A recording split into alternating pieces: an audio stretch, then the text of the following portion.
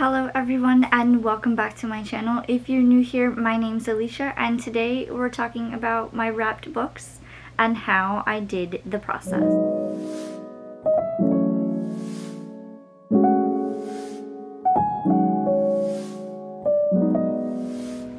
So this is the process on how I chose which books to wrap.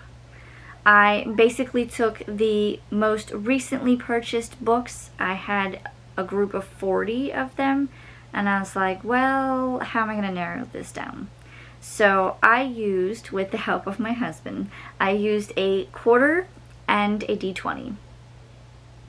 So what the process was, and this was kind of fun actually, we used a quarter and so we determined that heads was 1 through 20, and tails was 21 through 40. Then we used the d20 to roll the dice. If it was 1 through 20, so if it was heads, then we would roll the dice and we would choose the number based on that book. And so then if it was tails,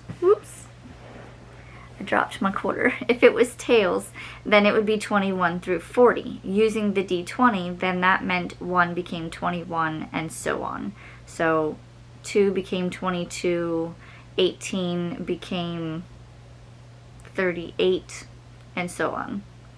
So that is how we determined it. So we went through this 20 different times and we would flip a coin to find out if it was heads or tails. And then if it was heads, 1 through 20, tails, it was 21 through 40. Then my husband would roll the dice and he would tell me what number to write down. Once we had all 20 books written down, then we would go through the piles because I had them in piles of like five books each. So, and all the way through 40 then we would go through and find all of those books. So then those were the ones that got wrapped. And then I did, oops, I'm just dropping everything. Then we did four extra books. I did three bonus books and one, hey, you finished all 23 or 20 books plus the three bonus. So then it was kind of like a completion book. So as you see behind me, I have, this is the first 10. Each of them are labeled with a number on it. So there's book one. And then as I got through, so this is 1 through 10.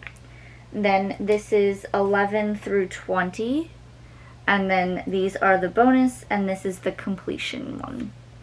So that's how I ended up picking my wrapped books. I will have a challenge video talking more about these as I get closer to the end of the year. I think I'm to set this up for 2025. I haven't fully decided yet. Maybe it'll be like a read a book a day type thing in December probably not. But I haven't fully decided how I'm going to do it yet. I just know that there will be a wrapped books challenge. Maybe something with my TBR.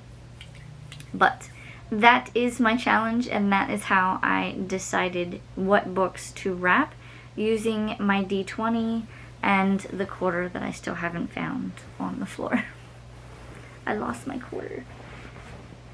There choosing books to wrap using a quarter and a d20. I also wanted to mention that if we did in fact roll the same number twice, then we just rolled again to pick a different number. And that is how we chose the books. Well, that is all for me in this video, guys. If you liked this video, uh, please like, comment, and subscribe. And I will see you guys next time. Bye.